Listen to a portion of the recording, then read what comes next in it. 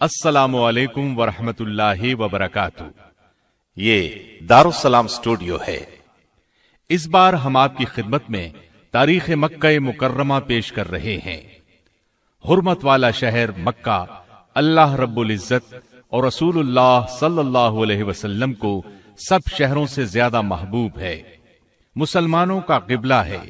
ان کی دلی محبت کا مرکز ہے۔ حج کا مرکز بھی ہے۔ مسلمانوں کی باہمی ملاقات اور تعلقات کی منزل ہے۔ روز ازل ہی سے اللہ تعالی نے اس کی تعظیم کے پیش نظر اسے حرم قرار دیا یعنی حرمت والا گھر۔ پھر اس میں کعبہ ہے۔ کعبہ روئے زمین پر اللہ تعالی کی عبادت کے لیے بنایا جانے والا سب سے پہلا گھر ہے۔ اس قدیم ترین گھر ہی کی وجہ سے اس علاقے کو حرم کا درجہ ملا۔ صرف اسی کو نہیں، اس کی ہر چیز کو امن و امان حاصل ہے۔ یہاں تک کہ درختوں کے پتوں اور دوسری خدرو نباتات کو بھی کاٹا نہیں جا سکتا۔ یہاں کے پرندوں اور جانوروں کو ڈرا کر بھگایا نہیں جا سکتا۔ اس جگہ کا ثواب دوسرے مقامات سے کئی گنا افضل ہے۔ یہاں کی ایک نماز ایک لاکھ نمازوں کے برابر ہے۔ شہر مکہ کو یہ عظمت، حرمت اور امان سب کچھ کعبے کی برکت سے عطا ہوا ہے۔ اب ہم حجر اسود کے بارے میں بیان کرتے ہیں۔ بہت سی احادیث سے حجر اسود کی فضیلت ثابت ہوتی ہے۔ نیز اس بات کی بھی رغبت دلائی گئی ہے کہ دوران طواف اسے بوسا دیا جائے یا ہاتھ لگایا جائے۔ حجر اسود کی فضیلت کے لیے یہ بات کافی ہے کہ نبی اکرم صلی اللہ علیہ وسلم کا دست مبارک اور مبارک ہونٹ اس پر لگے ہیں۔ بخاری اور مسلم میں مذکور ہے کہ سیدنا عمر بن خطاب رضی اللہ عنہ نے حجر اسود کو بوسا دیا اور فرمایا، مجھے یقین ہے کہ تو ایک پتھر ہے جو نقصان دے سکتا ہے نہ نفع۔ اور اگر میں نے رسول اللہ صلی اللہ علیہ وسلم کو تجھے بوسا دیتے نہ دیکھا ہوتا، تو کبھی تجھے بوسا نہ دیتا۔ جامع ترمزی میں ابن عباس رضی اللہ عنہما سے روایت ہے کہ رسول اللہ صلی اللہ علیہ وسلم نے فرمایا، حجر اسود جنت سے جب نازل ہوا تھا تو دودھ سے زیادہ سفید تھا، لیکن بنی آدم کی خطاؤں نے اسے سیاہ کر دیا۔ اسی طرح ترمزی میں ابن عباس رضی اللہ عنہما ہی سے روایت ہے کہ رسول اللہ صلی اللہ علیہ وسلم نے فرمایا اللہ کی قسم، اللہ قیامت کے دن حجر اسفت کو اس حال میں لائے گا کہ اس کی دو آنکھیں ہوں گی، جن سے دیکھے گا اور زبان ہوگی، جس سے بولے گا۔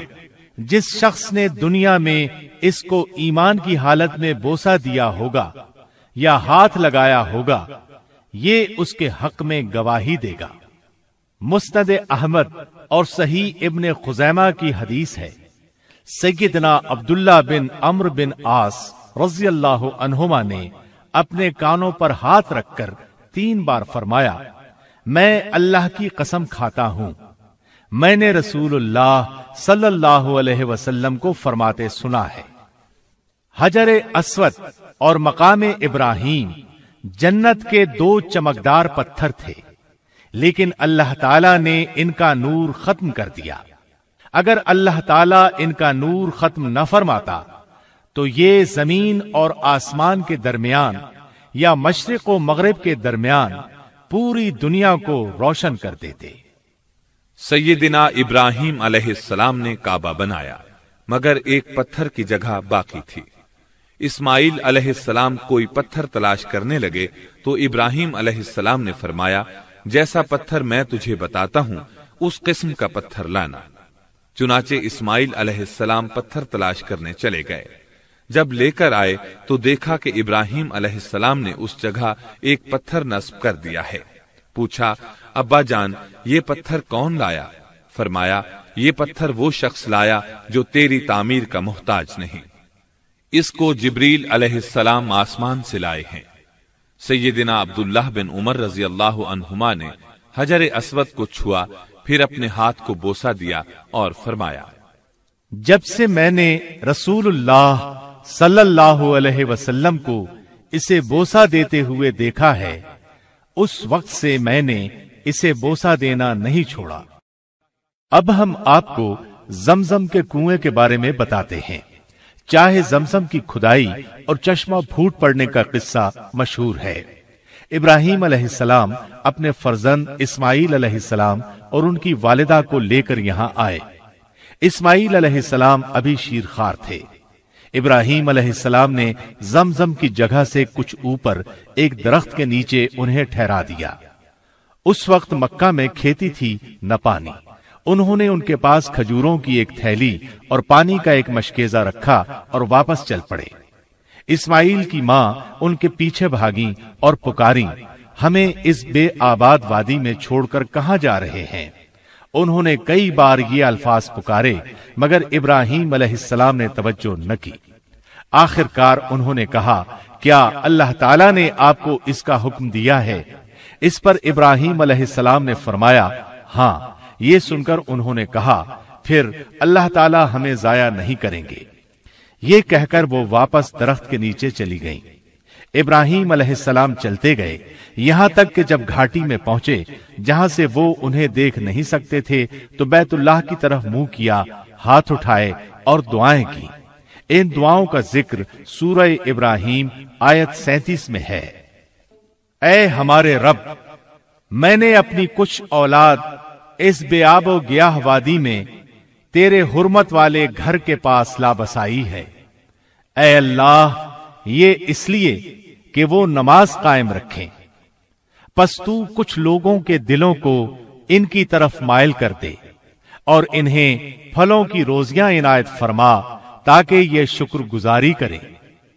اسماعیل علیہ السلام کی والدہ سکون سے انہیں دودھ پلاتی رہیں اور خود پانی پیتی رہیں۔ یہاں تک کہ پانی ختم ہو گیا اور بچہ پیاس سے بلکنے لگا۔ وہ بے بسی سے اسے بلکتا دیکھتی رہیں۔ آخر رہ نہ سکیں تو اٹھ بھاگی قریب ترین پہاڑی صفا تھی۔ اس پر چڑھ کر ادھر ادھر دیکھا شاید کوئی نظر آ جائے۔ لیکن کوئی نظر نہ آیا۔ تو نیچے اتری۔ ہموار زمین تک پہنچی تو کمیز کا کنارہ ہاتھ میں پکڑ کر ایک مصیبت زدہ انسان کی طرح بھاگتی ہوئی مروا پہاڑی تک آئیں۔ اس پر چڑھ کر بھی ادھر ادھر دیکھا، مگر کوئی نظر نہ آیا۔ سات مرتبہ اسی طرح کیا۔ رسول اللہ صلی اللہ علیہ وسلم فرماتے ہیں سئی اسی بنیاد پر شروع ہوئی۔ جب وہ آخری مرتبہ مروا پر چڑھی تو انہیں ایک آواز سنائی تھی اپنے آپ سے بولی چپ۔ پھر غور سے آواز کو سننے کی کوشش کی، پھر بولی میں نے تیری آواز سن لی ہے۔ اگر کچھ مدد کر سکتا ہے، تو کر۔ اب جو نظر اٹھی تو ایک فرشتہ زمزم والی جگہ کے پاس کھڑا نظر آیا۔ فرشتے نے زمین پر اپنی ایڑی یا پر مارا اور پانی نکل آیا۔ وہ بھاگی بھاگی آئیں اور اپنے ہاتھوں سے اس جگہ کے گرد حوض سا بنانے لگی چلو میں پانی لے لے کر مشکیزہ بھرنے لگی ادھر پانی جوش سے ابل رہا تھا۔ بخاری میں ہے، سیدنا ابن عباس رضی اللہ عنہما بیان کرتے ہیں کہ نبی اکرم صلی اللہ علیہ وسلم نے فرمایا، اگر سیدہ حاجرہ علیہ السلام نے زمزم کے پانی کو اسی طرح رہنے دیا ہوتا اور چلو بھر کر مشکیزے میں نہ ڈالتی، تو زمزم ایک کنویں کی بجائے جاری چشمہ بن جاتا۔ اب انہوں نے پانی پیا، بچے کو دودھ پلایا، تو فرشتہ کہنے لگا، یہ نہ سمجھنا کہ تم ضائع ہو جاؤ گے۔ یہ سامنے اللہ کا گھر ہے۔ اس گھر کو یہ بچہ اور اس کے والد نئے سرے سے بنائیں گے۔ اللہ اپنے دوستوں کو ضائع نہیں کرتے۔ عرصہ دراز کے بعد اور طویل سلسلہ شب و روز کے گزرنے سے زمزم ناپید ہو گیا۔ اس کے آثار مٹ گئے۔ علامہ یاقود ہموی اپنی کتاب موجم البلدان میں لکھتے ہیں کہ زمزم کے جاری ہونے پر لمبی مدت گزر گئی۔ یہاں تک کہ سیلابوں اور بارشوں نے اس کے نشانات کو مٹا دیا۔ صحیح بات یہ ہے کہ بنو جرہم جب مکہ چھوڑ کر چلے گئے تو انہوں نے خود ہی اس کنویں کو مٹی سے پاٹ دیا۔ پھر عرصہ دراز تک زمزم ناپید رہا۔ کسی کو اس کی جگہ تک کا پتہ نہ تھا۔ یہاں تک کہ سردار عبد المطلب کو حاجیوں کو پانی پلانے اور کھانا کھلانے کے عہدے ملے۔ تب انہوں نے خواب میں دیکھا کہ ان سے کہا گیا تیبہ کھودو۔ پوچھا تیبہ کیا ہے؟ اگلے دن پھر خواب میں کہا گیا، برہ کھودو برا کا مطلب ہے بہت زیادہ نفع بخش۔ انہوں نے پوچھا برا کیا ہے؟ تیسرے دن پھر خواب میں دیکھا۔ اس مرتبہ کہا گیا مزنونا کھودو مزنونا کا مطلب ہے بخل سے کام لینا۔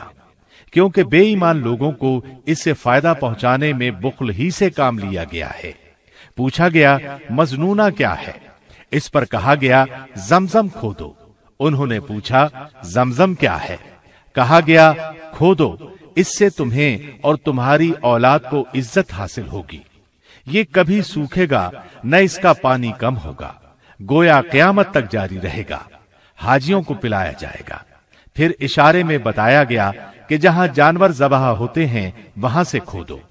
دوسرے دن سردار عبد المطلب اٹھے، اپنے بیٹے حارث کو ساتھ لیا۔ کدال اور کسی لے کر وہاں پہنچے۔ ان دنوں حارث کے علاوہ ان کا کوئی بیٹا نہیں تھا۔ یہ تین دن تک کھودتے رہے۔ آخر کنویں کے آثار نظر آئے۔ خوشی کے مارے نعرہ تکبیر بلند کیا اور فرمایا، یہ ہے اسماعیل کا کنواں۔ اب قریش کہنے لگے، ہمیں بھی اس سعادت میں شریک کرو۔ اس پر آپ نے فرمایا، میں تم لوگوں کو اس میں شریک نہیں کروں گا۔ یہ میری خصوصی فضیلت ہے۔ جسے چاہو فیصل مان لو، اسی سے فیصلہ کروا لیتے ہیں۔ انہوں نے بنی سعد کی کاہنا کا نام لیا۔ پھر سب اس کی طرف چل پڑے۔ راستے میں اس قدر پیاس لگی کہ مرنے کے قریب پہنچ گئے۔ سردار عبد المطلب کہنے لگے، اس طرح چپ چاپ بیٹھے رہنا تو نکما پن ہے۔ کیوں نہ ادھر ادھر پانی تلاش کریں۔ اللہ تعالی ضرور ہمیں پانی عطا کریں گے۔ چنانچہ وہ چلے۔ سردار عبد المطلب بھی اپنی اونٹنی پر سوار ہوئے۔ جب اونٹنی اٹھی تو اس کے پاؤں کے نیچے سے میٹھے پانی کا چشمہ پھوٹ پڑا۔ سردار عبد المطلب اور دوسرے لوگوں نے خوشی سے نعرہ بلند کیا اور سب نے سیر ہو کر پانی پیا۔ پھر وہ سردار عبد المطلب سے بولے، اللہ تعالیٰ نے یہ چشمہ جاری کر کے آپ کے حق میں فیصلہ دے دیا ہے۔ اللہ کی قسم، ہم آپ سے اس معاملے میں کبھی جھگڑا نہیں کریں گے۔ پھر وہ واپس آ گئے اور زمزم کھودنے میں کوئی رکاوٹ نہ بنے۔ زمزم کے بہت سے نام ہیں۔ نام زیادہ ہونا بھی عظمت کی دلیل ہوتی ہے۔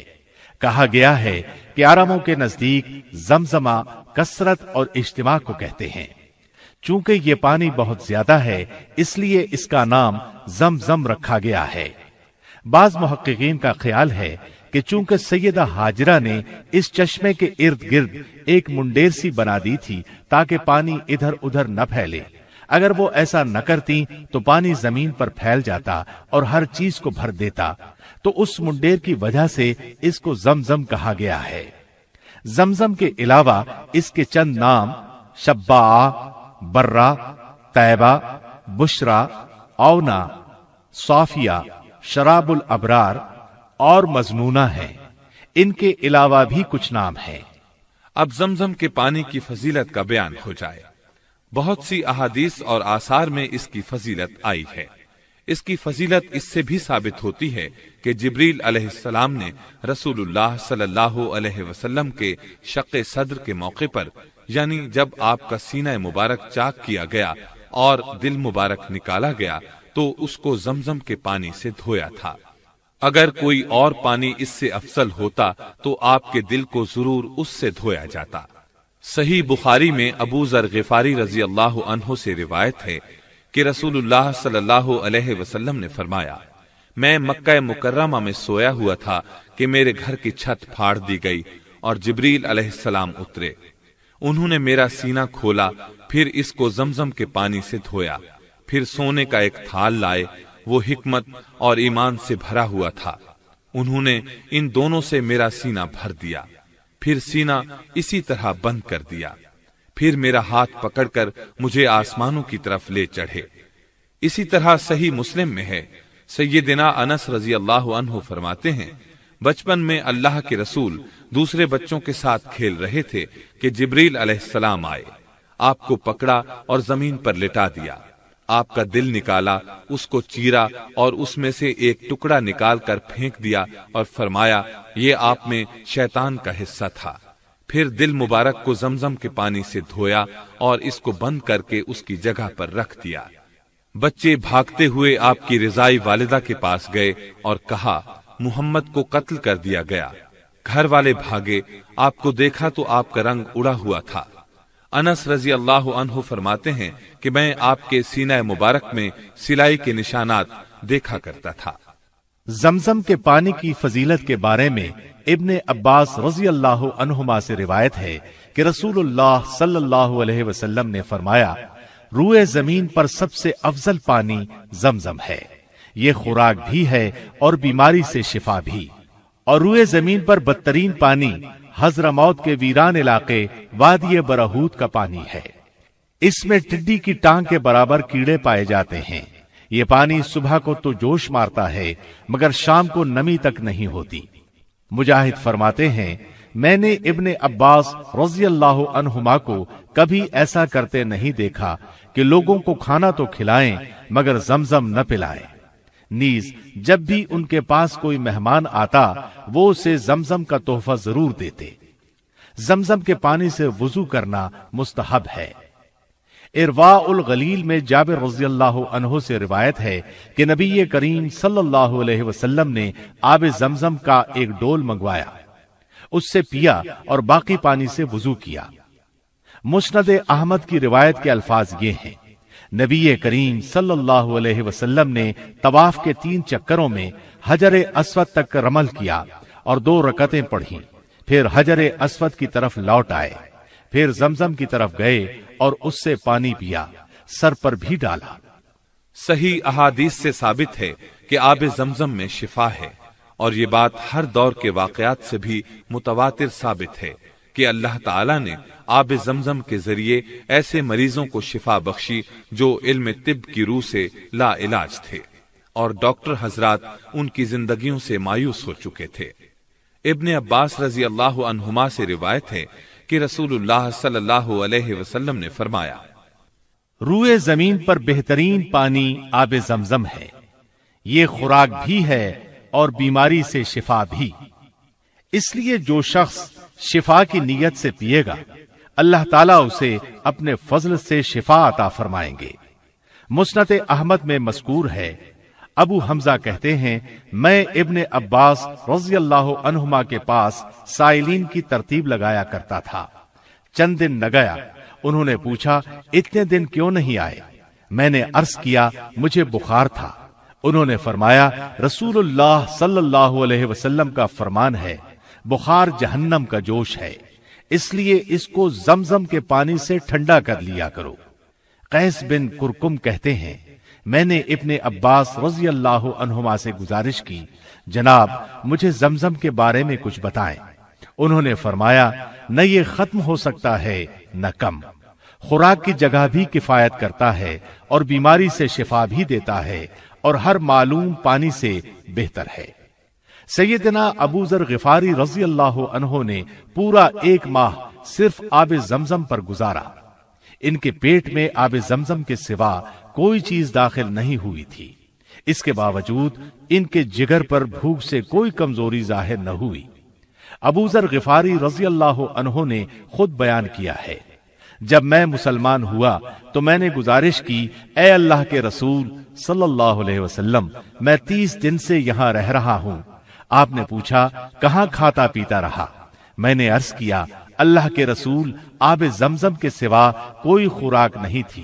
پھر بھی میں اتنا موٹا ہو گیا کہ پیٹ پر بل پڑنے لگے اور مجھے ذرہ بھر کمزوری محسوس نہیں ہوئی۔ آپ صلی اللہ علیہ وسلم نے فرمایا، یہ با برکت پانی ہے، خوراک کی جگہ بھی کفایت کرتا ہے۔ ابن عباس رضی اللہ عنہما کا زمزم کے بارے میں فرمان ہے ہم آب زمزم کو شبا کہتے تھے یعنی سیر کر دینے والا۔ یہ فقر کے خلاف بہترین مددگار ہے۔ لیجیے، اب ہم آپ کو ملتظم کے بارے میں بتاتے ہیں۔ حجر اسود اور کعبے کے دروازے کی درمیانی جگہ کو ملتظم کہا جاتا ہے۔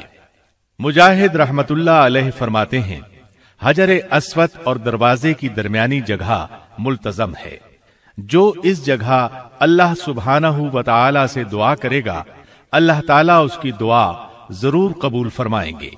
ابن عباس رضی اللہ عنہما حجر اسود اور دروازے کی درمیانی جگہ کو چمٹ جاتے تھے اور فرماتے تھے کہ دروازے اور حجر اسود کے درمیان کھڑے ہو کر جو شخص بھی اللہ تعالی سے دعا کرتا ہے، اس کی حاجت ضرور پوری ہوتی ہے۔ اس جگہ کو ملتظم کہا جاتا ہے۔ یہاں دیوار سے چمٹ کر دعا کرنی چاہیے۔ احادیث میں ذکر ملتا ہے کہ بہت سے صحابہ رضی اللہ عنہم اس جگہ چمٹ کر دعائیں کیا کرتے تھے۔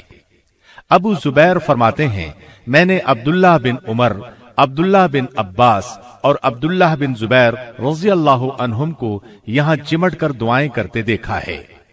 اس طرح حنزلہ فرماتے ہیں میں نے تاؤس رحمت اللہ علیہ کو دیکھا کہ وہ حجر اسود اور دروازے کے درمیان کھڑے اللہ کی پناہ طلب کر رہے ہیں۔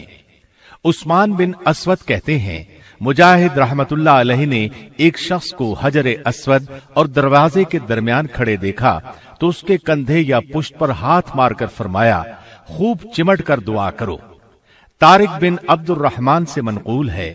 وہ فرماتے ہیں، میں نے سیدنا علی بن حسین رحمہ اللہ کے ساتھ طواف کیا۔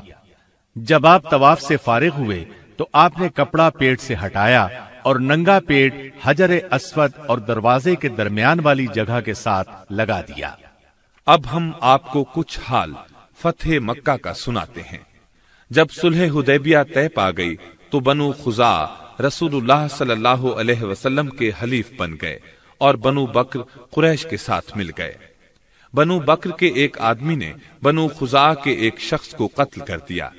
اس کے نتیجے میں دونوں قبیلوں کے درمیان جنگ کی آگ بھڑک اٹھی۔ قریش نے اسلحہ کے ساتھ بنو بکر کی مدد کی، بلکہ رات کے اندھیرے میں قریش کے کچھ لوگ بنو بکر کے ساتھ مل کر لڑائی میں بھی شریک ہوئے۔ اس طرح انہوں نے سلح حدیبیہ کے معاہدے کی خلاف ورزی کی۔ بنو خزا کا ایک آدمی رسول اللہ صلی اللہ علیہ وسلم کے پاس مدد کا مطالبہ لے کر آیا۔ آپ نے لوگوں کو تیاری کا حکم دیا اور فرمایا، ہم مکے جائیں گے۔ ساتھ ہی دعا فرمائی، اے اللہ، قریش کے جاسوسوں کو قابو کر لے تاکہ ہم مکہ والوں کو اچانک جا لیں۔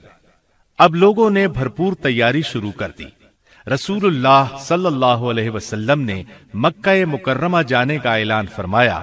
تو سیدنا حاطب بن ابی بلتا رضی اللہ عنہ نے قریش کو ایک خط لکھا، ایک عورت کے سپرد کیا، اجرت دے کر اسے تیار کیا کہ اس خط کو قریش تک پہنچا دے۔ اس نے وہ خط اپنے سر کے بالوں کی مینڈیوں میں چھپا لیا اور مکہ کی طرف روانہ ہو گئی۔ اللہ کے رسول صلی اللہ علیہ وسلم کو بذریعہ وہی اطلاع ہو گئی۔ آپ نے سیدنا علی بن ابی طالب اور سیدنا زبیر بن عوام رضی اللہ عنہما کو اس کے پیچھے روانہ کیا اور حکم فرمایا، جاؤ، اس عورت کو پکڑ لاؤ، اس کے پاس ایک خط ہے۔ اس خط میں ہماری تیاریوں کے متعلق قریش کو خبردار کیا گیا ہے۔ دونوں سرپٹ گھوڑے دوڑاتے ہوئے گئے اور آخر اسے روزہ خاک کے مقام پر جا لیا۔ اسے سواری سے اتار کر سامان کی تلاشی لی، لیکن وہ خط نہ ملا۔ سیدنا علی رضی اللہ عنہ نے کہا، اللہ کی قسم، رسول اللہ صلی اللہ علیہ وسلم کی اطلاع غلط نہیں ہو سکتی، اور نہ ہم جھوٹ بول رہے ہیں۔ اس لیے تو خط نکال دے، ورنہ ہم تیرے کپڑے اتار کر تلاشی لیں گے۔ جب اس نے محسوس کر لیا کہ اب خط نکال کر دینے کے سوا کوئی چارہ نہیں، تو بولی اچھا آپ منہ دوسری طرف کر لیں۔ سیدنا علی رضی اللہ عنہ نے چہرہ دوسری طرف کر لیا۔ اس نے خط نکال کر انہیں دے دیا۔ وہ خط لے کر اللہ کے رسول صلی اللہ علیہ وسلم کے پاس آئے۔ آپ نے حاطب رضی اللہ عنہ کو بلا کر فرمایا حاطب ایسا کیوں کیا؟ وہ بولے، اللہ کے رسول صلی اللہ علیہ وسلم، یقین کیجیے میں اللہ اور اس کے رسول پر پختہ ایمان رکھتا ہوں۔ اللہ کی قسم، نہ میں نے عقیدہ بدلا، نہ دین۔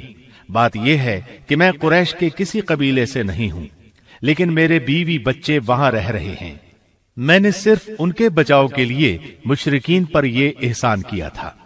اس پر سیدنا عمر بن خطاب رضی اللہ عنہ فرمانے لگے، اے اللہ کے رسول، صلی اللہ علیہ وسلم مجھے اجازت دیجیے میں اس منافق کی گردن اڑا دوں۔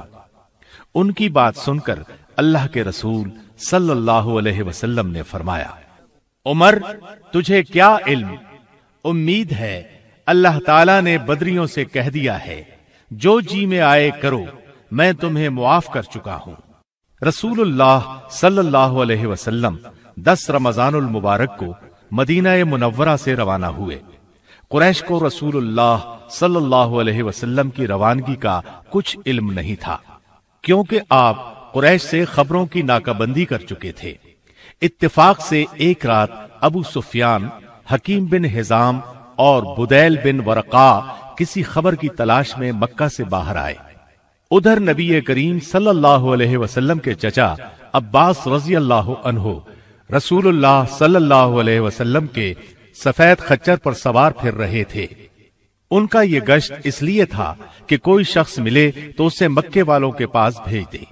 وہ انہیں بتائے، اللہ کے رسول صلی اللہ علیہ وسلم تشریف لا چکے ہیں، لہذا آ کر امان حاصل کر لیں۔ اتفاقاً انہیں ابو سفیان مل گئے۔ انہوں نے انہیں قائل کیا کہ وہ ان کے ساتھ رسول اللہ صلی اللہ علیہ وسلم کی خدمت میں چلیں اور مکہ والوں کے لیے امان حاصل کر لیں۔ وہ ان کے ساتھ گئے تو رسول اللہ صلی اللہ علیہ وسلم نے اسلام کی پیشکش کی۔ ابو سفیان فوراً مسلمان ہو گئے۔ سیدنا عباس رضی اللہ عنہ کہنے لگے، اللہ کے رسول، ابو سفیان سردار آدمی ہے، فخر کا خواہش مند ہے، لہذا اسے کچھ امتیاز عطا فرمائیں۔ آپ نے فرمایا، ٹھیک ہے، جو شخص ابو سفیان کے گھر میں داخل ہو جائے، اسے امان ہوگی۔ جو اپنا دروازہ بند کر کے بیٹھ جائے، اسے بھی امان حاصل ہوگی۔ اور جو بیت اللہ میں چلا جائے، اسے بھی کچھ نہیں کہا جائے گا۔ جب نبی اکرم صلی اللہ علیہ وسلم زو توا میں داخل ہوئے، تو آپ نے فتح مندی کے احسان کا شکر ادا کرتے ہوئے اللہ تعالی کے سامنے اپنا سر جھکایا ہوا تھا۔ یہاں تک کہ آپ کی داڑھی مبارک کے بال پالان کی لکڑی کو چھو رہے تھے۔ لشکر اسلام کا ہر دستہ رسول اللہ صلی اللہ علیہ وسلم کی ہدایات کے مطابق پیش قدمی کر رہا تھا۔ کوئی مزاحمت نہیں ہو رہی تھی۔ صرف مکہ مکرمہ کی نشیوی جانب میں بنو بکر اور حبشیوں کے کچھ لوگوں نے خالد بن ولید رضی اللہ عنہ کے دستے کو روکنے کی کوشش کی، مگر وہ جلد ہی شکست کھا گئے۔ صفان بن امیہ اکرما بن ابو جہل اور سہیل بن امر نے بھی خندما کے علاقے میں کچھ لوگ لڑائی کے لیے جمع کر رکھے تھے۔ جب خالد بن ولید رضی اللہ عنہ اپنے دستے سمیت پہنچے تو انہوں نے بھی تھوڑی بہت مزاحمت کی۔ ان میں سے قریب بارہ تیرہ آدمی مارے گئے تو وہ بھاگ کھڑے ہوئے۔ رسول اللہ صلی اللہ علیہ وسلم نے دستوں کے امیر مقرر فرماتے ہوئے انہیں تاکید فرمائی تھی کہ مکہ مکرمہ میں داخل ہوتے وقت کسی کو قتل نہ کریں، سوائے اس صورت کے کہ کوئی ان سے لڑائی لڑے۔ البتہ آپ نے چند اشخاص کا نام لے کر ان کے قتل کا حکم دیا تھا۔ ان کے بارے میں آپ نے فرمایا تھا، چاہے وہ کعبے کے پردوں کے پیچھے کیوں نہ چھپے ہوں، انہیں قتل کر دیا جائے۔ ان کے نام یہ تھے، عبداللہ بن سعد بن ابی سرخ عبداللہ بن قتل اور اس کی دو گانے والی لونڈیاں ہویرس بن نقیز مقیس بن سبابا اکرما بن ابی جہل اور بنو عبد المطلب کی ایک لونڈی سارا ان میں سے صرف عبداللہ بن قتل مقیس بن سبابا اور ابن قتل کی ایک لونڈی قتل کیے گئے۔ باقی حضرات نے معافی مانگ لی اور آپ نے انہیں معاف کر دیا۔ رسول اللہ صلی اللہ علیہ وسلم جمعۃ المبارک کو مکہ مکرمہ میں تشریف فرما ہوئے، جبکہ رمضان المبارک کے دس دن باقی تھے۔ نبی صلی اللہ علیہ وسلم کے لیے مقام ابتح میں خصوصی خیمہ لگایا گیا۔ آپ اپنی اونٹنی قصوا پر سوار داخل ہوئے۔ آپ کے ایک طرف ابو بکر صدیق رضی اللہ عنہ اور دوسری طرف سیدنا اسید بن حزیر رضی اللہ عنہ تھے۔ آپ اپنے خیمے میں فروکش ہوئے۔ ابن عمر رضی اللہ عنہما فرماتے ہیں۔ رسول اللہ صلی اللہ علیہ وسلم مکہ مکرمہ میں داخل ہوئے تو دیکھا کہ مشرقین کی عورتیں گھوڑوں کے چہروں سے اپنے دوپٹوں کے ساتھ گرد و غبار جھاڑ رہی ہیں۔ ابو بکر صدیق رضی اللہ عنہ مسکرائے۔ نبی صلی اللہ علیہ وسلم نے فرمایا، ابو بکر، حسان نے کیسے کہا تھا بھلا؟ ابو بکر صدیق رضی اللہ عنہ نے سیدنا حسان بن ثابت رضی اللہ عنہ کے یہ اشار پڑھے۔ میری بیٹی مر جائے اگر تم ہمارے گھوڑوں کو کدا مقام کے دونوں کناروں پر گرد و غبار اڑاتے نہ دیکھو۔ وہ اپنے سواروں سے باغیں چھڑا چھڑا کر بھاگیں گے۔ ان پر کاٹیاں پڑی ہوں گی۔ اور عورتیں اپنے دوپٹوں کے ساتھ ان کے چہروں سے گرد و غبار جھاڑیں گی۔ نبی صلی اللہ علیہ وسلم نے فرمایا، گھوڑوں کو وہیں سے داخل کرو جہاں حسان نے ذکر کیا ہے یعنی کدا سے۔ جب لوگوں میں اطمینان ہوا تو آپ اپنی اونٹنی پر سوار ہو کر بیت اللہ تشریف لائے اور سواری ہی پر سات چکر لگائے۔ جب بھی حجر اسود کے پاس سے گزرتے، اپنی چھڑی سے اسے چھو لیتے۔ اس وقت کعبے کے ارد گرد تین سو ساٹھ بت تھے۔ ان بتوں کو سیسے کے ذریعے نصب کیا گیا تھا۔ آپ ان بتوں کو چھڑی سے مارتے اور فرماتے، حق آ گیا اور باطل مٹ گیا۔ باطل تو مٹنے ہی والا ہے۔ بت چہرے کے بل گرتے جا رہے تھے۔ سیدنا جابر رضی اللہ عنہ بیان کرتے ہیں، ہم رسول اللہ صلی اللہ علیہ وسلم کے ساتھ مکہ مکرمہ میں داخل ہوئے۔ اس وقت بیت اللہ کے آس پاس تین سو ساٹھ بت تھے۔ ان کی پوجا کی جاتی تھی۔ رسول اللہ صلی اللہ علیہ وسلم کے حکم سے ان سب کو منہ کے بل گرایا گیا۔ صحیح بخاری میں ہے نبی اکرم صلی اللہ علیہ وسلم مکہ میں تشریف لائے تو آپ نے بتوں کی موجودگی میں کعبے میں داخل ہونے سے انکار کر دیا۔ آپ کے حکم سے ان سب کو نکال دیا گیا۔ جب سیدنا ابراہیم اور اسماعیل علیہ السلام کے بت نکالے گئے تو ان کے ہاتھ میں تیر پکڑائے ہوئے تھے۔ رسول اللہ صلی اللہ علیہ وسلم نے فرمایا، اللہ ان مشرکوں پر لانت کرے۔ اللہ کی قسم انہیں علم ہے کہ ان دونوں شخصیات نے کبھی تیروں کے ساتھ قسمت آزمائی نہیں کی۔ پھر آپ بیت اللہ میں داخل ہوئے اور کونوں میں کھڑے ہو کر تکبیریں پڑھتے رہے، لیکن آپ نے اس میں نماز ادا نہیں فرمائی۔ صحیح بخاری کی دوسری روایت میں ہے کہ آپ نے اس میں نماز ادا فرمائی تھی۔ درست بات بھی یہی ہے جیسا کہ سیدنا عبداللہ بن عمر رضی اللہ عنہما بیان کرتے ہیں۔ پھر جب نبی کریم صلی اللہ علیہ وسلم نے کعبے میں نماز ادا فرمائی، بیت اللہ کا چکر لگا لیا، اس کے کونوں میں تکبیرات پڑھ لی اور نعرہ توحید بلند فرما دیا، تو بیت اللہ کا دروازہ کھلنے پر آپ نے دیکھا کہ مسجد قریش سے بھر چکی تھی۔ وہ صفوں میں بیٹھے انتظار کر رہے تھے کہ اب آپ ان کے ساتھ کیا سلوک فرماتے ہیں۔ آپ نے بیت اللہ کے دروازے کے بازوؤں کو پکڑ کر فرمایا۔ اللہ کے سوا کوئی سچا معبود نہیں، وہ یکتا ہے، کوئی اس کا شریک نہیں۔ اس نے اپنا وعدہ پورا فرمایا، اپنے بندے کی مدد فرمائی اور اکیلے نے سب لشکروں کو شکست دے دی۔ خبردار، ہر قسم کا فخر، مالی اور نصبی امتیاز جن کے دعوے کیے جاتے ہیں، آج میرے ان پاؤں تلے ہیں۔ سوائے بیت اللہ کی خدمت اور حاجیوں کو پانی پلانے کی خدمت کے۔ خبردار اگر کسی کو کوڑے یا لاٹھی کے ساتھ غلطی سے مار دیا جائے، تو قاتل پر سخت دیت لاگو ہوگی یعنی سو اونٹ، جن میں چالیس اونٹنیاں حاملہ بھی ہوں گی۔ اے قریش، اللہ تعالیٰ نے تمہارا جاہلی تکبر اور آبائی فخر ختم کر دیا۔ سب لوگ آدم علیہ السلام کی اولاد ہیں اور سیدنا آدم علیہ السلام مٹی سے بنے تھے۔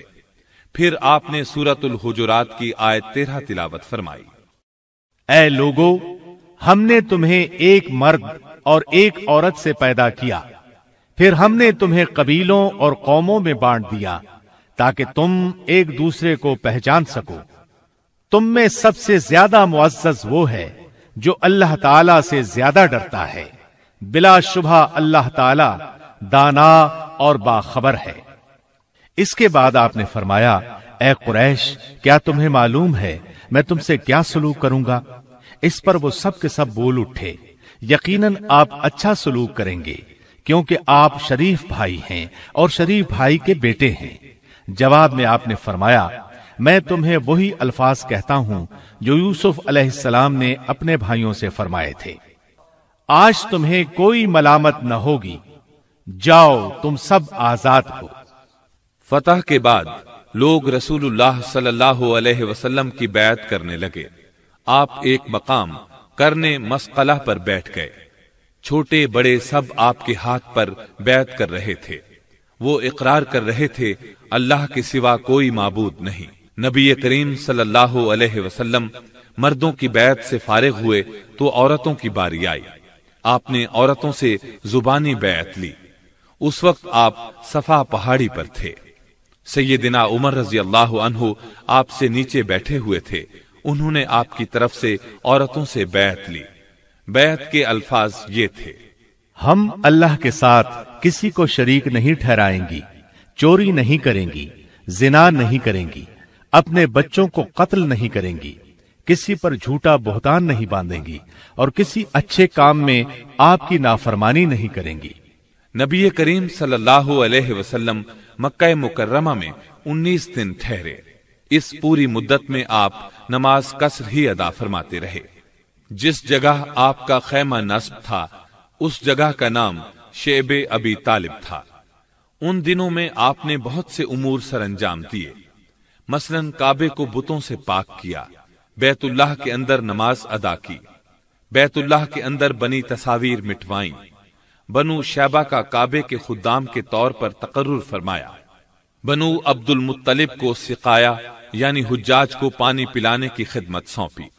مزید یہ کہ آپ نے سیدنا بلال رضی اللہ عنہ کو حکم فرمایا، کعبے کے اوپر چڑھ کر اذان دیں۔ بعض سرکش مرتدوں کا خون جائز قرار دیا۔ مردوں اور عورتوں سے بیعت لی۔ ابو اسید خزائی کو حکم فرمایا کہ حرم کی برجیاں پھر سے بنائے دعوت اسلام کے لیے کئی لشکر بھیجے۔ کیونکہ آپ کو معلوم تھا کہ فتح مکہ کی وجہ سے بہت سے دشمن اسلام قبول کرنے کو تیار ہیں۔ بت توڑنے کے لیے بھی دستے بھیجے۔ سیدنا خالد بن ولید رضی اللہ عنہ نے مکہ کے قریب مقام نخلا کے بت عزا کو پاش پاش کیا۔ اس وقت رمضان المبارک آٹھ ہجری کے پانچ دن باقی تھے۔ عزا قریش اور بنو کنانا کا خاص بت تھا اور اسے سب سے بڑا بت شمار کیا جاتا تھا۔ نیز آپ نے سیدنا امر بن آس رضی اللہ عنہ کو بھیجا، انہوں نے بنو حزیل کا بت سوا ریزا ریزا کیا۔ اسی طرح سیدنا سعد بن زید اشلی رضی اللہ عنہ کو بھیجا، انہوں نے منات نامی بت کو توڑا۔ یہ سب کام رمضان المبارک آٹھ ہجری ہی میں انجام پائے۔ اللہ کے رسول صلی اللہ علیہ وسلم فتح مکہ کے بعد واپس مدینہ منورہ تشریف لائے۔ تو وفود کا تانتا بند گیا۔ وہ آ آ کر اپنے اسلام کا اعلان کرتے تھے۔ ادھر حج کا وقت قریب آ رہا تھا۔ آپ مسلمانوں کو لے کر حج کے لیے نہیں جا سکتے تھے، کیونکہ وفود مسلسل آ رہے تھے۔ نیز ابھی تک جزیرہ نمائے عرب میں کفار موجود تھے، جو اللہ پر ایمان رکھتے تھے، نہ اس کے رسول پر۔ کچھ یہودی بھی تھے، اس لیے مناسب تھا کہ ابھی اللہ کے رسول مدینہ ہی میں رہیں۔ یہاں تک کہ اسلام ہر طرف پھیل جائے اور اللہ کی طرف سے آپ کو حج کی اجازت ملے۔ اور آپ کی بجائے ابو بکر صدیق رضی اللہ عنہ ہی لوگوں کو حج کے لیے ساتھ لے جائیں۔ چونکہ مشکین اب بھی بیت اللہ کا حج کرنے کے لیے آ جاتے تھے، اس لیے ضروری تھا کہ کعبے کو مشرقین کی آمد سے بھی پاک کیا جائے، جیسا کہ بتوں اور شرکیہ نشانات سے پاک کیا جا چکا تھا۔ ذوالقادہ نو ہجری کے آخر میں ابو بکر صدیق رضی اللہ عنہ رسول اللہ صلی اللہ علیہ وسلم کے حکم سے امیر حج بن کر روانہ ہوئے۔ آپ کے ساتھ نبی اکرم صلی اللہ علیہ وسلم کی طرف سے بیس اونٹ قربانی کے لیے بھیجے گئے تھے، جبکہ خود ان کے پچاس اونٹ تھے۔ اس سفر میں تین سو مدنی صحابہ بھی آپ کے ساتھ تھے۔ جب آپ ذوالحلیفہ، جسے آج کل آبار علی کہا جاتا ہے، اور یہ مدینہ سے قریباً گیارہ کلومیٹر دور ہے پہنچے، تو رسول اللہ صلی اللہ علیہ وسلم نے سیدنا علی بن ابی طالب رضی اللہ عنہ کو بھیجا۔ انہیں حکم دیا کہ مشرقین کے سامنے سورہ برات یعنی سورہ توبہ کی تلاوت کریں۔ اس سورہ کی آیت اٹھائیس میں اللہ تعالیٰ فرماتے ہیں، اے ایمان والو مشرق پلید ہیں۔ اس سال کے بعد وہ مسجد حرام کے قریب بھی نہ آئیں۔ اور اگر تمہیں ڈر ہو کہ اس پابندی سے تم فقیر ہو جاؤ گے، تو یقین رکھو، بہت جلد اللہ تعالیٰ تمہیں اپنے فضل سے مالدار کر دے گا۔ اگر اللہ کی مرضی ہوئی، یقیناً اللہ تعالی علم و حکمت والا ہے۔ اللہ تعالیٰ نے مومنوں کو جو دین اور جسم کے لحاظ سے پاک ہیں، حکم دیا کہ ان مشرقوں کو جو دینی لحاظ سے پلید ہیں، مسجد حرام سے نکال دیں۔ اور اس کے بعد وہ کبھی اس کے قریب بھی نہ پھٹکے چنانچہ علی رضی اللہ عنہ نے قربانی والے دن فرمایا، اے لوگو، اس سال کے بعد کوئی مشرق حج کرنے نہ آئے۔ کوئی ننگا شخص بیت اللہ کا طواف نہ کرے۔ اور جس شخص کا اللہ کے رسول صلی اللہ علیہ وسلم سے معاہدہ ہو چکا ہے وہ مقررہ مدت تک برقرار رہے گا۔ لوگوں کے لیے اس وقت سے چار ماہ کی مدت مقرر کر دی گئی تاکہ وہ اپنے اپنے گھروں کو واپس جا سکیں۔ پھر اس دن سے کسی مشرق نے حج نہیں کیا، نہ کسی ننگے شخص نے کعبہ کا طواف کیا، بلکہ تمام مشرقین واپس چلے گئے اور ایک دوسرے کو ملامت کے انداز میں کہنے لگے، تم کیا کر رہے ہو؟ جب قریش اسلام قبول کر چکے ہیں تو تم بھی اسلام قبول کر لو۔ اب ہم آپ کو مسجد حرام کی تعمیر کے مختلف ادوار کے بارے میں بتاتے ہیں۔ جی ہاں پہلے پہل مسجد حرام چھوٹی سی تھی۔ اس کے ارد گرد دیوار بھی نہیں تھی، بلکہ گھروں نے مسجد حرام کو گھیر رکھا تھا۔ گھروں میں مسجد کی طرف دروازے کھلتے تھے۔ لوگ ادھر ادھر سے آتے جاتے رہتے تھے۔ اس طرح نمازیوں کو دقت ہوتی تھی۔ سیدنا عمر بن خطاب رضی اللہ عنہ نے بہت سے گھر خرید کر گرا دیے۔ جن لوگوں نے اپنے گھروں کو فروخت کرنے سے انکار کیا، ان کے گھر گروا کر گھروں کی قیمت بیت المال میں رکھ دی۔ آخر کار انہوں نے یہ قیمت لے لی۔ پھر سیدنا عمر رضی اللہ عنہ نے مسجد کے ارد گرد چار دیواری تعمیر کروا دی، جو زیادہ اونچی نہیں تھی۔ سیدنا عمر رضی اللہ عنہ نے لوگوں سے فرمایا، کعبہ پہلے سے بنا ہوا تھا، تم بعد میں رہنے لگے ہو۔ لہذا خالی جگہ کعبے کا سین ہے، نہ کہ تمہارا۔ یہ سترہ ہجری کی بات ہے، جب سیدنا عمر رضی اللہ عنہ عمرہ کرنے کے لیے تشریف لائے تھے اور مکہ مکرمہ میں بیس دن ٹھہرے تھے۔ سیدنا عثمان رضی اللہ عنہ کے دور میں لوگ زیادہ ہو گئے تو انہوں نے مسجد کی مزید توسیع فرمائی۔ کچھ لوگوں سے گھر خرید لیے، جنہوں نے بیچنے سے انکار کیا، ان کے گھر زبردستی گرا دیے۔ لوگوں نے شور و غل مچایا تو آپ نے انہیں بلا کر فرمایا، میری نرمی اور تحمل نے تمہیں جرت دلا دی ہے، ورنہ سیدنا عمر رضی اللہ عنہ نے بھی یہی کچھ کیا تھا۔ اس وقت تو کوئی نہیں بولا تھا۔ میں نے تو انہی کا طریقہ اختیار کیا ہے، جس پر تم چیخنے چلانے لگے ہو۔ پھر آپ نے انہیں قید کرنے کا حکم دیا، مگر پھر عبداللہ بن خالد بن اسید کی سفارش پر انہیں چھوڑ دیا۔ سیدنا عثمان رضی اللہ عنہ نے یہ توسیع چھبیس ہجری میں فرمائی۔ پھر سیدنا عبداللہ بن زبیر رضی اللہ عنہ نے مسجد کے مشرقی سمت سے توسیع کی اور یہ بالائی حصہ تھا جو مسجد کی شامی اور یمنی جانب واقع تھا۔ اس توسیب میں کتاب اخبار مکہ کے مصنف علامہ ازرقی کے جد امجد ازرق کا نصف گھر بھی شامل ہو گیا تھا۔ یہ حصہ سیدنا عبداللہ بن زبیر رضی اللہ عنہ نے ان سے دس ہزار دینار سے زائد رقم دے کر خریدا تھا۔ اس کے بعد بنو عباس کے دوسرے خلیفہ ابو جعفر منصور نے مسجد کی شامی اور مغربی جانب توسیع کی۔ اس توسیع کی ابتدا محرم الحرام ایک سو سینتیس ہجری میں ہوئی اور ذی الحج ایک سو چالیس ہجری میں تکمیل ہوئی۔ ابو جعفر منصور کی توسیع مسجد حرام کے پہلے رقبے سے نصف پر مشتمل تھی۔ گویا اس طرح مسجد کا رقبہ پہلے سے ڈیڑھ گنا بڑھ گیا۔ پھر ابو جعفر منصور کے بیٹے مہدی نے مسجد کی بالائی، یمنی اور مغربی جانب اپنے والد کی توسیع سے آگے مزید توسیع کی۔ مہدی کے دور میں توسیع دو مرتبہ ہوئی۔ پہلی مرتبہ ایک سو ساٹھ ہجری میں، جب اس نے اپنے والد کی توسیع سے آگے دو برامد مزید تعمیر کیے۔ دوسری مرتبہ ایک سو سڑسٹھ ہجری میں توسیع ہوئی۔ اس توسیع کا حکم اس نے اس وقت دیا جب ایک سو چونسٹھ ہجری میں وہ اپنا دوسرا حج کرنے آیا۔ یہ توسیع شروع اس کے آخری دور میں ہوئی اور مکمل اس کے بیٹے موسا ہادی کے دور میں ہوئی۔ کیونکہ موت نے مہدی کو زیادہ مہلت نہ دی۔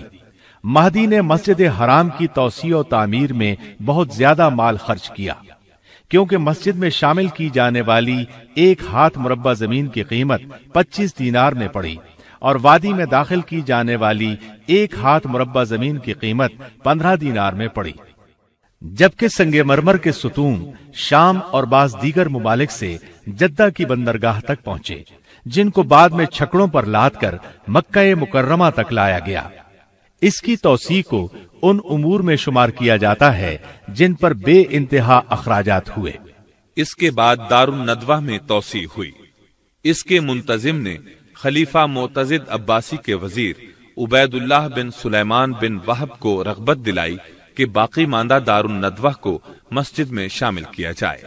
اس سے نیک نامی ہوگی، کیونکہ مہدی کے بعد کسی خلیفہ نے مسجد حرام میں کوئی کام نہیں کرایا۔ منتظم نے مکہ مکرمہ کے قاضی محمد بن احمد مقدمی اور مکہ مکرمہ کے امیر اج بن حاج سے بھی درخواست کی کہ وہ دار الندوہ کے بارے میں ایسی ہی تجویز خلیفہ کے سامنے پیش کریں۔ یہ شخص معتزد باللہ کا آزاد کردہ غلام تھا۔ اس نے بھی تجویز لکھ بھیجی۔ جب یہ تینوں درخواستیں معتزد کے پاس پہنچی تو اس نے حکم دیا دار الندوہ کو مسجد کی شکل دے کر بڑی مسجد سے ملا دیا جائے۔ اس مقصد کے لیے اس نے بڑی رقم مختص کی۔ دار الندوہ کی پرانی عمارت گرا کر سارا ملبہ نکال دیا گیا۔ پھر اصل بنیاد پر مسجد بنا دی گئی۔ اس میں ستون، محراب اور برامدے بنائے گئے۔ ان کی چھت لکڑی کی ڈالی گئی۔ اس پر سونے کی پالش اور کشیدہ کاری کی گئی۔ پھر بڑی مسجد کی دیوار میں بارہ دروازے بنائے گئے۔ ان کے علاوہ اس عمارت میں تین دروازے اور رکھے گئے۔ جو ارد گرد کی سڑکوں پر کھلتے تھے۔ مینار بھی تعمیر کیا گیا۔ چھت پر کنگروں والا جنگلہ بنایا گیا۔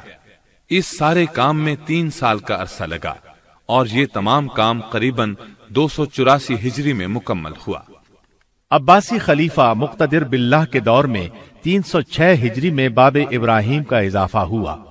یہ دروازہ مسجد کی مغربی جانب تھا۔ یہ دراصل ایک کھلا سہن تھا۔ جو باب الخیاتین اور باب بنی جمعہ کے درمیان واقع تھا۔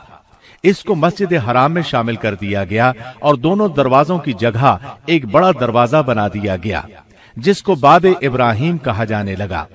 عباسی خلفاء نے اس کے بعد مسجد حرام کی تعمیر و توسیع کا تو کوئی کام نہیں کیا، البتہ مرمت اور اصلاح کا کام سلطان سلیم کے دور نو سو اناسی ہجری تک جاری رہا۔ مصر کے بادشاہ برقوق کے دور آٹھ سو دو ہجری میں مسجد حرام میں آگ لگ گئی۔ سلطان برقوق نے عمارت دوبارہ تعمیر کرائی۔ اس پر پہلے کی طرح ساگوان کی لکڑی کی چھت ڈلوائی پھر کئی بار اس کی مرمت بھی کرائی گئی۔ لیکن آہستہ آہستہ اس میں کمزوری آتی گئی اور اس میں ٹوٹ پھوٹ کا عمل ہوتا رہا۔ سلطان سلیم کے سامنے جب یہ صورت حال پیش کی گئی تو اس نے اس کو گرا کر نئی عمارت بنانے کا حکم دیا اور کہا کہ چھت لکڑی کی نہ ڈالی جائے بلکہ اس کو گنبدوں کی شکل میں بنایا جائے۔ یہ کام نو سو اناسی ہجری میں شروع ہوا، لیکن سلطان سلیم تعمیر مکمل ہونے سے پہلے ہی فوت ہو گئے۔ پھر ان کے بیٹے سلطان مراد سوم نے اس کام کو مکمل کیا۔ تعمیر نو کا یہ کام نو سو چوراسی ہجری میں مکمل ہوا۔ عباسی خلیفہ مقتدر باللہ کے دور میں مسجد حرام میں جو توسیع ہوئی، تو اس کے بعد ایک ہزار انہتر برس تک مسجد حرام کا رقبہ اتنا ہی رہا۔ البتہ ارد گرد عمارات بنتی رہی بلکہ آہستہ آہستہ مسجد کی طرف سرکتی رہی سئی والی جگہ کا بھی یہی حال رہا کہ اس کے اور مسجد حرام کے درمیان کئی کئی منزلہ عمارات تھیں۔ سئی والی جگہ کی صورت ایک تنگ گلی کی سی ہو کر رہ گئی۔ اس کے ارد گرد دکانیں تھیں۔ اب مسجد حرام اپنے محدود رقبے کی وجہ سے زائرین کے لیے تنگ ہو رہی تھی۔ حاجیوں کی تعداد اب اتنی کم نہیں رہی تھی جتنی جانوروں اور بادبانی کشتیوں کے زمانے میں تھی۔ بلکہ ذرائع آمد و رفت کی ترقی کی وجہ سے اب تعداد کئی گنا بڑھ چکی تھی۔ اب جانوروں کی بجائے نئی نئی بسیں، کاریں اور تیز ترین ہوائی جہاز ایجاد ہو چکے تھے۔ باد بانی کشتیوں کی بجائے تیز رفتار دیو ہیکل باہری جہاز کا دور آ چکا تھا۔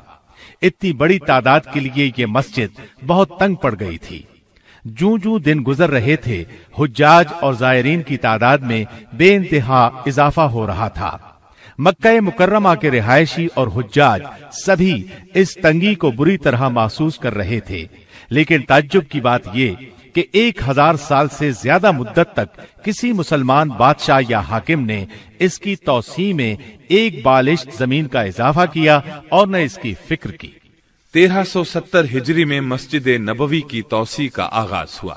پانچ محرم تیرہ سو پچہتر ہجری میں مسجد نبوی کی توسیع کا کام پورا ہونے پر سرکاری طور پر اعلان کیا گیا کہ مسجد نبوی کی توسیع کے دوران استعمال ہونے والی تمام مشینری اور جملہ آلات کو مکہ مکرمہ منتقل کر دیا جائے تاکہ فوری طور پر مسجد حرام کی توسیع کے منصوبے کا آغاز ہو سکے۔ شاہ عبد العزیز بن عبد الرحمان آل سعود رحمت اللہ علیہ نے حرمین شریفین کے معاملات پر بہت زیادہ توجہ دی۔ چنانچہ انہوں نے مسجد کی مرمت کا حکم دیا۔ اس حکم کے تحت حرم میں سنگ مرمر لگایا گیا۔ نئے سرے سے رنگ کیا گیا۔ دروازے اور برآمدوں کے فرش درست کیے گئے۔ شاہ عبد العزیز پہلے شخص ہیں جنہوں نے سئی والی گلی کا فرش لگوایا۔ اس کے اوپر سائبان کی تجدید کرائی۔ جبکہ مسا یعنی سعی کرنے کی جگہ پر سب سے پہلے شاہ شریف حسین بن علی نے تیرہ سو انتالیس ہجری میں سائبان لگوایا تھا۔ مسجد حرام میں پہلی توسیع شاہ سعود بن عبد العزیز کے دور میں ہوئی۔ مسا کے دونوں جانب بنے ہوئے گھر گرا دیے گئے اور مسا کی دو منزلیں بنائی گئیں۔ پہلی منزل میں صفا سے مروا جانے اور مروا سے صفا واپس آنے کے لیے الگ الگ راستے بنائے گئے۔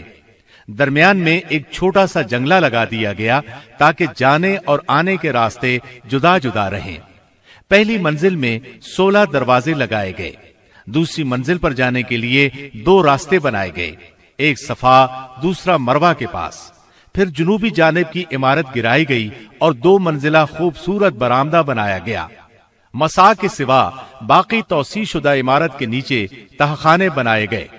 پھر مغربی اور شمالی جانب میں بھی جنوبی توسیع کی طرح توسیع کی گئی اور ان دونوں جانب بھی وہی کچھ بنایا گیا جو جنوبی جانب بنایا گیا تھا۔ دروازوں کی تعداد بھی بڑھائی گئی۔ چھوٹے بڑے سب مل کر اکاون دروازے بن گئے۔ توسیع کے دوران پرانے سات مینار گرا کر سات نئے مینار بنائے گئے۔ اس طرح سعودی دور کی پہلی توسیع میں ایک لاکھ تریپن ہزار مربع میٹر کا اضافہ کیا گیا اور مسجد کا کل رقبہ ایک لاکھ اسی ہزار آٹھ سو پچاس مربع میٹر ہو گیا۔ گویا اس توسیع کے بعد مسجد حرام کا رقبہ چھ گنا بڑھ گیا، جبکہ اس توسیع سے پہلے مسجد کا کل رقبہ صرف ستائیس ہزار آٹھ سو پچاس مربع میٹر تھا۔ مزید یہ کہ توسیع والی عمارت انتہائی مضبوط اور خوبصورت ہے۔ دیواروں پر سنگ مرمر اور چھتوں اور ڈاٹوں میں عمارتی پتھر جڑا گیا ہے تاکہ مسجد حرام فن تعمیر کا شاہکار بن جائے۔ شاہ فہد نے حرم کی طرف بہت توجہ دی اور بڑی دریا دلی سے خرچ کیا۔ ان کے منصوبے کے دو پہلو ہیں۔ نمبر ایک، زیبائش و آرائش۔ نمبر دو، مسجد حرام کے رقبے میں اضافہ۔ رقبے میں اضافہ تو اس طرح کیا گیا کہ مغربی جانب باب عبد العزیز سے باب عمرہ تک دو منزلہ عمارت اور تہخانے بنائے گئے اور مسجد کی چھت کو بھی نماز کی ادائیگی کے قابل بنا دیا گیا۔ وہاں کھلے سہن تعمیر کیے گئے۔ ان میں اسی ہزار سے زائد افراد نماز پڑھ سکتے ہیں۔ بجلی کے ذریعے چلنے والی سیڑھیوں کے لیے تین مقامات بنائے گئے۔ گویا کے توسیع کی سابقہ دو منزلوں کے اوپر تیسری منزل کا بھی اضافہ کیا گیا ہے۔ اس توسیع میں باب الملک فہد کے نام سے ایک عظیم دروازہ بنایا گیا۔ اس کے ساتھ چودہ چھوٹے دروازے بھی ہیں۔ تاخانوں میں جانے کے لیے دو راستے بنائے گئے ہیں۔ اس توسیع کے بعد اب مسجد میں داخل ہونے کے لیے چار بڑے اور چون چھوٹے دروازے ہیں۔ تاخانوں میں داخل ہونے کے لیے چھ الگ راستے ہیں۔ اس کے علاوہ دوسری منزل پر جانے کے لیے بھی کئی راستے اور بجلی کے ذریعے چلنے والی سیڑھیاں موجود ہیں۔ مسجد کے سات سابقہ میناروں میں بالکل انہی جیسے دو اور میناروں کا اضافہ کیا گیا ہے۔ اس طرح میناروں کی تعداد اب نو ہو گئی ہے۔ اس نئے اضافے کا رقبہ چھتر ہزار مربع میٹر ہے۔ یہ رقبہ پہلی سعودی توسیع سے پہلے کی مسجد حرام کے رقبے سے تین گنا ہے۔ اس کا مطلب یہ ہے کہ دونوں سعودی توسیعات سے مسجد حرام کا رقبہ نو گنا بڑھ گیا ہے۔ اس کے علاوہ نمازیوں کے لیے مسجد کی مشرقی جانب مسا سے متصل نئے میدان بھی بنائے گئے ہیں۔ ان کو مشرقی سہن کہا جاتا ہے۔ جبل ابی قبیس کے دامن میں شاہی محلات واقع ہیں۔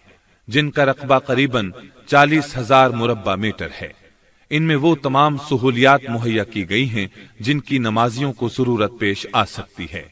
اس کے ساتھ ساتھ جنوبی اور مغربی جانب بھی وسیع سہن تیار کیے گئے ہیں۔ ان میں سفید سنگ مرمر کا فرش لگایا گیا ہے تاکہ جب نمازی زیادہ ہوں تو یہاں بھی لوگ نماز ادا کر سکیں۔ حج کے دنوں میں خاص طور پر یہاں نمازیں ادا کی جاتی ہیں۔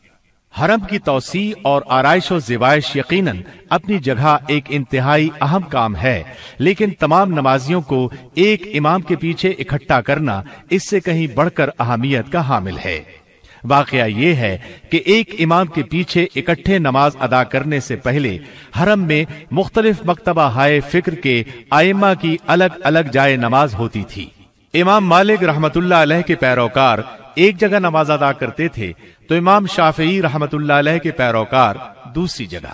اسی طرح امام احمد بن حنبل رحمت اللہ علیہ کے معتقدین کا مسلح جدا مقام پر تھا۔ اور امام ابو حنیفہ رحمت اللہ علیہ کے پیروکار الگ جگہ پر نماز ادا کیا کرتے تھے۔ ان میں سے ہر مقام پر الگ امام نماز پڑھایا کرتا تھا۔ آزان تو ایک ہی ہوتی تھی، جبکہ نماز الگ الگ چار مقامات پر مختلف اوقات میں ادا کی جاتی تھی۔ سب سے پہلے امام احمد بن حنبل رحمت اللہ علیہ کے پیروکار نماز ادا کرتے۔ ان کے بعد امام شافعی رحمت اللہ علیہ کے ماننے والے، پھر امام مالک رحمت اللہ علیہ کے پیروکار۔ اسی طرح سب سے آخر میں امام ابو حنیفہ رحمت اللہ علیہ کے طریق پر چلنے والے اپنی نماز ادا کیا کرتے تھے۔ ہر مسلح کا الگ امام مقرر کرنے کی بدت عثمانیوں نے شروع کی تھی۔ جو شاہ عبد العزیز بن عبد الرحمان آل سعود کی آمد تک جاری رہی۔ شاہ عبد العزیز نے یہ تمام طریقے ختم کر دیے جو مسلمانوں کی زندگی کو عیبدار بنا رہے تھے اور تمام امور کو رسول اللہ صلی اللہ علیہ وسلم اور صلف صالحین کے عہد کی طرف لوٹاتے ہوئے مسلمانوں کو ایک امام کی اقتداء میں نماز ادا کرنے کا حکم جاری کر دیا۔ لیجیے اب ہم آپ کو مکہ مکرمہ کے تاریخی مقامات کی سیر کراتے ہیں۔ جبل ہرا کا نام تو آپ نے سنا ہے۔ یہی وہ پہاڑ ہے جس میں ایک غار ہے جو لوگوں میں غار ہرا کے نام سے مشہور ہے۔ اس غار میں وحی کے نزول کا آغاز ہوا۔ رسول اللہ صلی اللہ علیہ وسلم اس غار میں نزول وحی سے پہلے بھی عبادت کیا کرتے تھے۔ مسلم کی حدیث ہے ابو حریرہ رضی اللہ عنہ بیان کرتے ہیں کہ نبی کریم صلی اللہ علیہ وسلم سیدنا ابو بکر صدیق، سیدنا عمر، سیدنا عثمان، سیدنا علی، سیدنا طلحہ اور سیدنا زبیر رضی اللہ عنہم ہرا پہاڑ کی ایک چٹان پر بیٹھے تھے کہ چٹان ہلنے لگی۔ رسول اللہ صلی اللہ علیہ وسلم نے فرمایا، رک جا، اس وقت تجھ پر ایک نبی، ایک صدیق اور شہید ہی بیٹھے ہیں۔ جبل سور یہ پہاڑ مکہ مکرمہ کی نشیبی جانب جنوب میں واقع ہے۔ ہجرت کے موقع پر نبی کریم صلی اللہ علیہ وسلم اور ابو بکر صدیق رضی اللہ عنہ اس پہاڑ کے مشہور غار میں چھپے تھے۔ یہ وہی غار ہے جس کا ذکر اللہ نے اپنی کتاب قرآن مجید میں کیا ہے۔ دو میں سے دوسرے جبکہ وہ غار میں تھے۔ مسجد خیف، مینا میں واقع ہے۔ یہ ان مساجد میں سے ہے جن کی فضیلت بعض احادیث اور آثار صحابہ سے ثابت ہے۔ ابن عباس رضی اللہ عنہما کی ایک مرفوع حدیث میں ہے۔ مسجد خیف میں ستر انبیاء علیہ السلام نے نماز پڑھی ہے۔ حجت الوداع کے موقع پر نبی کریم صلی اللہ علیہ وسلم نے بھی اس میں نمازیں ادا کی صحابہ کرام رضی اللہ عنہم اس مسجد کی فضیلت کے قائل تھے اور اس کا ذکر خیر کرتے رہتے تھے۔ نیز مناسب کے حج کی ادائیگی کے موقع پر اس میں نماز پڑھنے کی طرف رغبت دلاتے تھے۔ مینا، یہ وہ مقام ہے جہاں عرفہ کے دن، سورج طلوع ہونے تک اور قربانی کے دن اور بعد والے ایام تشریق میں حاجیوں کو جانے اور ٹھہرنے کا حکم ہے۔ یہاں رات ٹھہرنے کا حکم بھی ہے۔ اور یہیں حاجی لوگ جمرات کو کنکریاں مارتے ہیں۔ مینا حج کے دنوں میں تو بہت آباد ہوتا ہے، باقی سارا سال خالی رہتا ہے۔ بہت کم لوگ وہاں رہائش پذیر ہیں۔ مینا کی حد وادی محسر کے کنارے سے لے کر اس گھاٹی تک ہے، جس کے پاس مکہ کی طرف والا آخری جمرہ ہے۔ اس کو جمرہ اقبا کہا جاتا ہے۔ اسی کے پاس انصار نے رسول اللہ صلی اللہ علیہ وسلم کی بیعت کی تھی۔ مینا کی ایک فضیلت یہ ہے کہ مسجد خیف یہی واقع ہے۔ نیز اللہ تعالی نے اسی وادی میں سیدنا ابراہیم علیہ السلام کو ان کے بیٹے کے فدیے کے طور پر مینڈا عطا فرمایا تھا۔ ارفا ارفا کو عرفات بھی کہا جاتا ہے۔ یہاں ٹھہرنا حاجیوں کے لیے فرض ہے۔ جو عرفات میں وقوف نہ کر سکے، اس کا حج نہیں ہوتا۔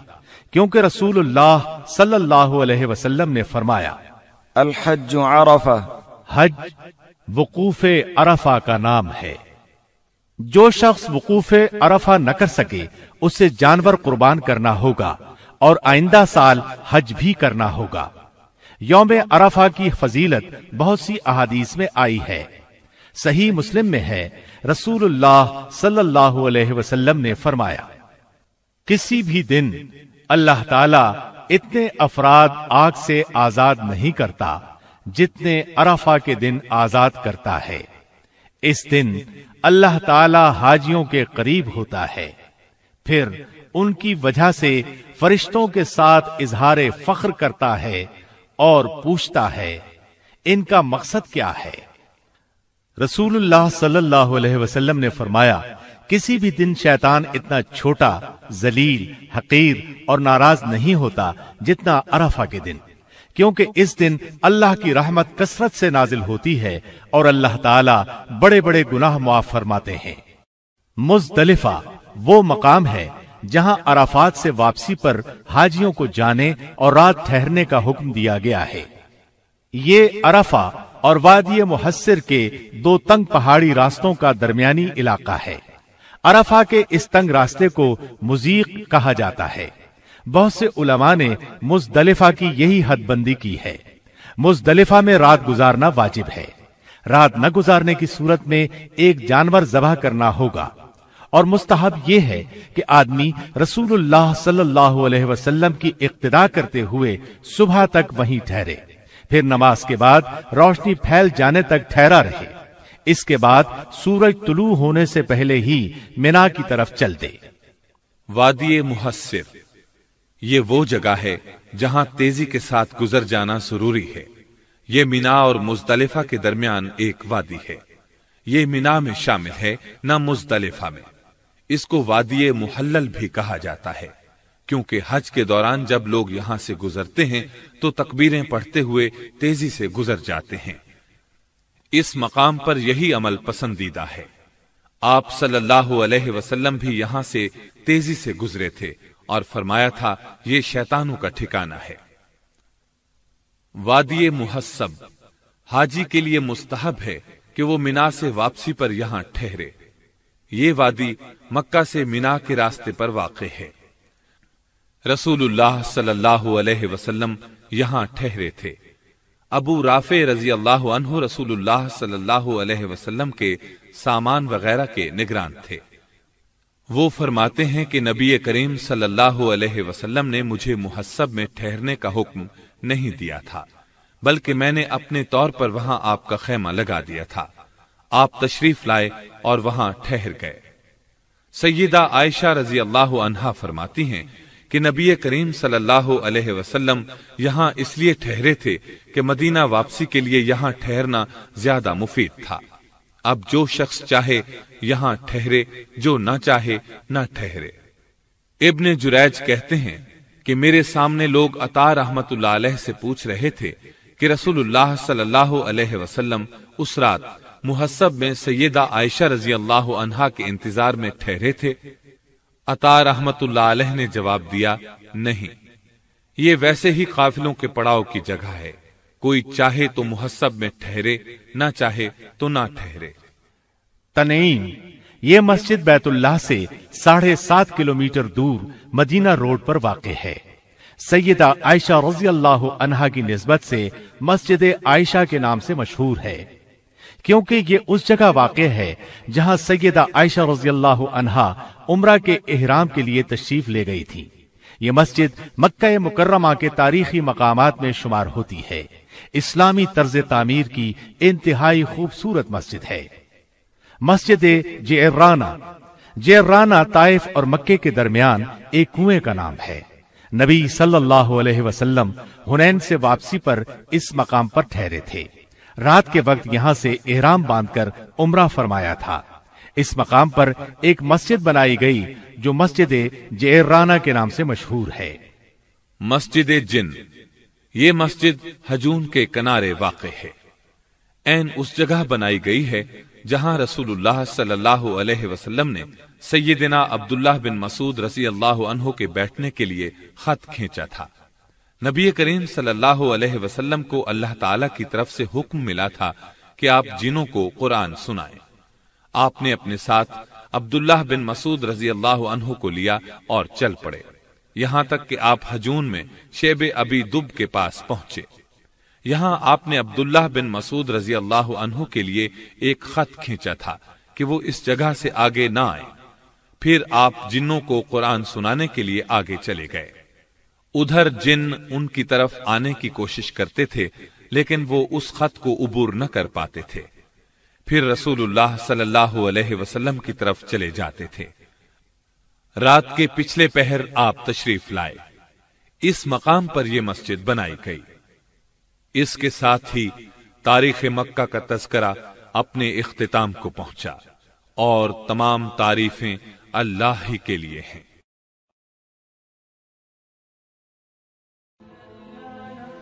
Thanks for watching. Don't forget to like, comment, share and subscribe to